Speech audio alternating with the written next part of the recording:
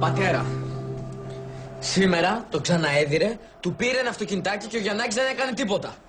Ο Γιαννάκης και δεν έκανε τίποτα; Πρέπει να ανοίξω ένα πλατή διάλογο με το παιδί. Δεν είναι δυνατό, δηλαδή. Αλλά βαράει και πιο παροχάρος, πώς θα γίνει; Όχι, Διονύση, δεν θέλει διάλογος σε αυτά τα πράγματα. Στο σχολείο έτσι είναι. Κάποιοι δέρνουνε και κάποιοι τις τρώνε. Και άμα είσαι από αυτούς που τις τρώνε, μια ζωή έτσι θα σε. Η πολύ παρέα με το Σπύρος έχει αποκάνει. Τρίτη δημοτικού πάει, ρε. Δεν μ' αρέσει να βαράει συνέχεια, πώς το λένε; Κάντον αδερφή να τελειώνουμε. Να κανονίσουμε και εμείς την πορεία μας. Ρε εσύ, πώς σε φώναζε εκείνος στο σχολείο που σε έδωνα συνέχεια; Σε έδερνε συνέχεια. Δηλώ και χέστη.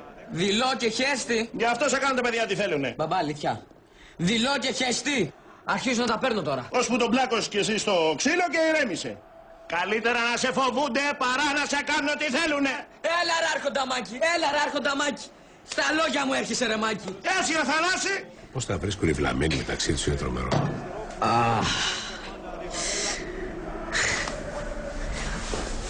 خيرة